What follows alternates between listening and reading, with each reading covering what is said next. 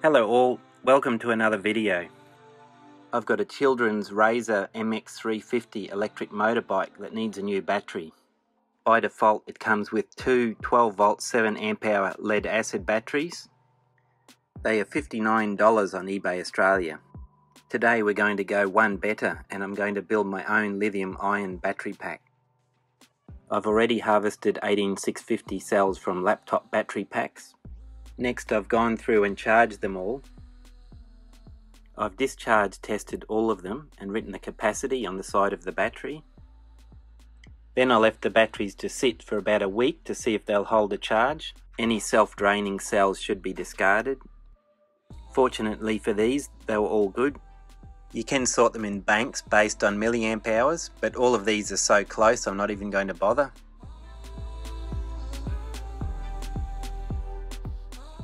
Next we have these battery boxes I ordered from AliExpress. These are the same dimensions as sealed lead acid 12 volt batteries. These ones come with battery holders.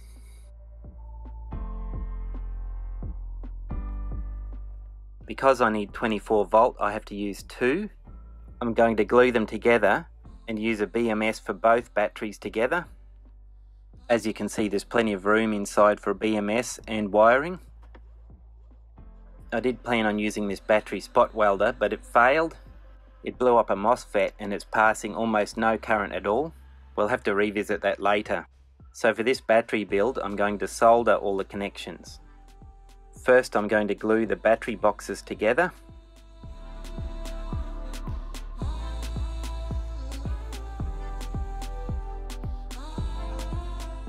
Marking out holes for the bus bars Then I'll drill them. Next I have to go through and solder both ends of all the batteries. I find most cells don't need any prep work. I carefully watch the blob of solder until it bonds with the battery. I don't want one single cold solder joint. All done. Can you spot the one I missed? Now let's solder on some copper wire. Here I'm making 6S7P. That'll work out about 24.6 volts. Stop. I need 7S, not 6S.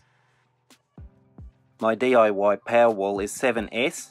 I want to be able to charge it from my solar panels and the easiest way to do that is if I make this battery 7S as well. I can just connect it directly from the charge controller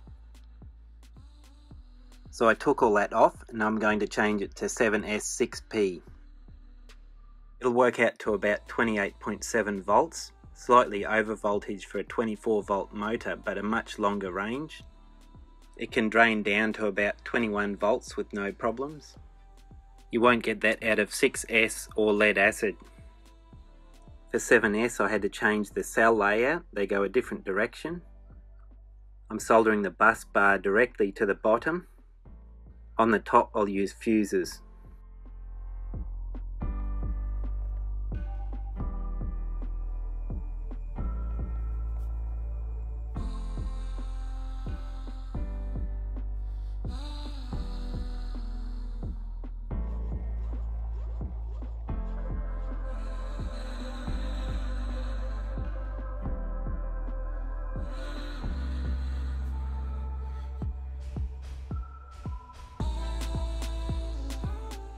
I've cut wires to join the two battery halves together.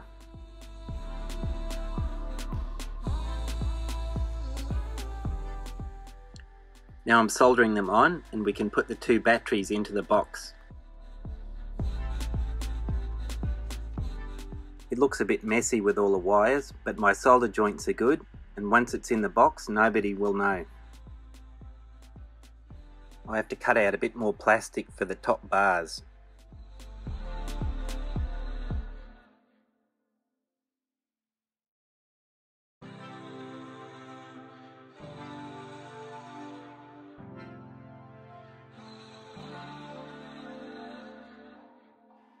So far so good, I'm happy with that. Next we've got the top bus bars and fuses.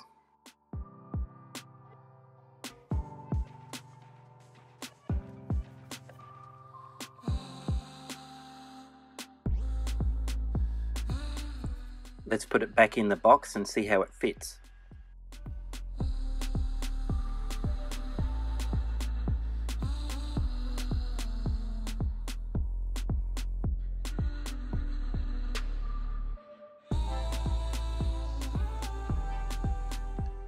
Too close for comfort so I'm going to bend the top bus bar around the bottom one.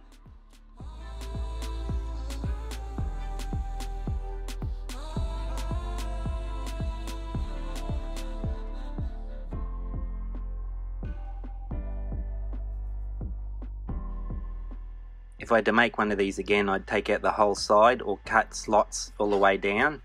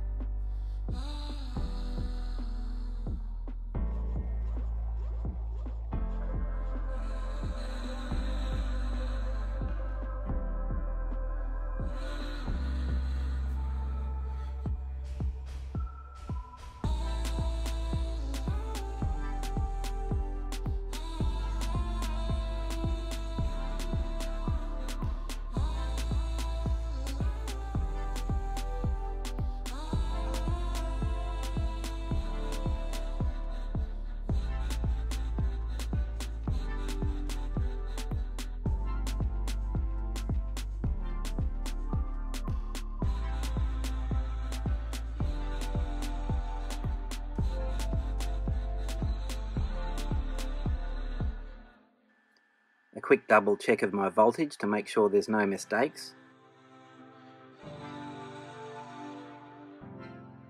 Now I'm soldering on the last bus bar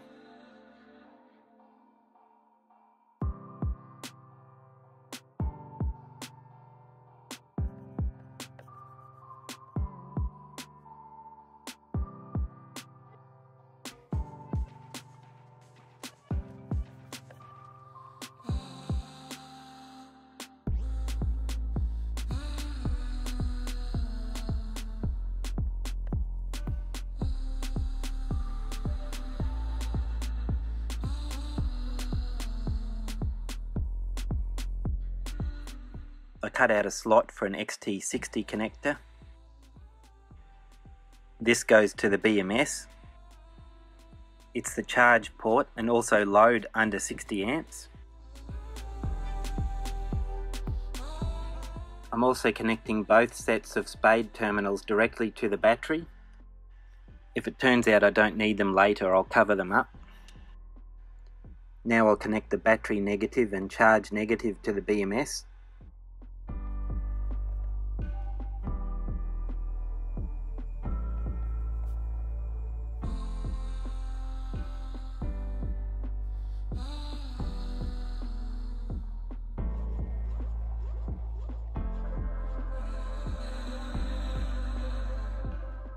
And finally the BMS wires.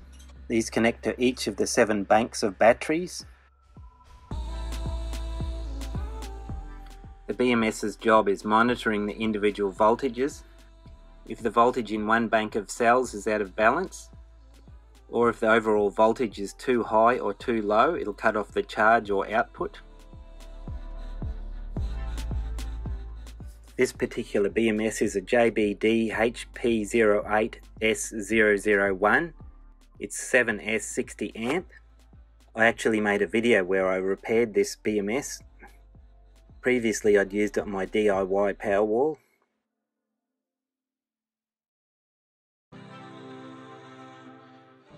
That's all done. One last check I've got everything in the right place and I'll plug it in.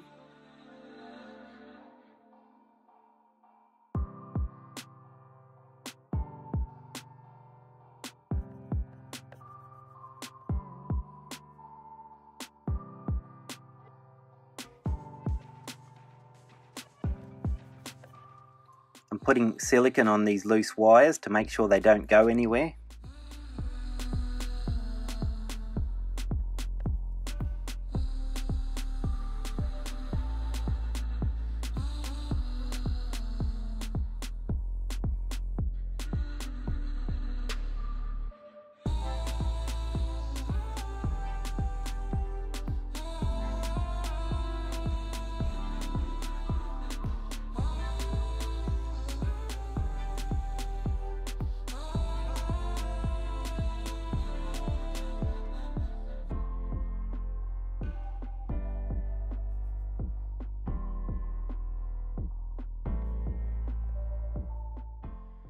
Bit of an adjustment there.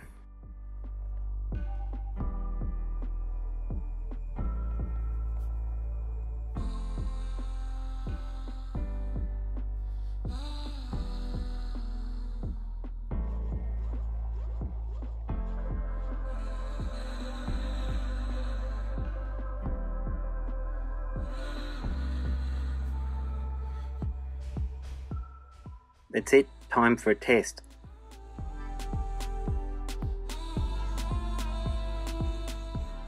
There it is, I plugged it in, it's working. Sorry for the shaky camera.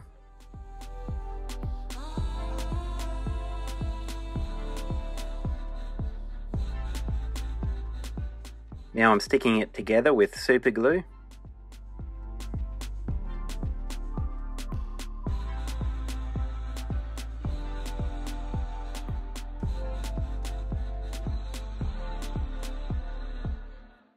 Finally silicon for a bit of waterproofing.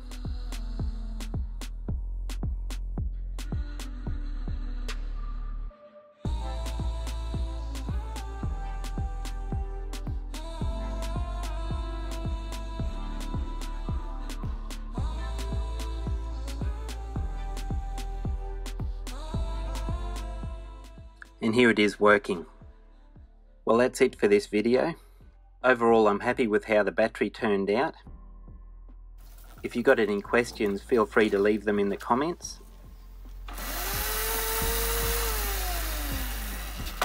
We'll revisit this little motorbike in a future video. It needs brushes and maybe a replacement motor. Thanks for watching. Don't forget to like and subscribe, it really helps me out.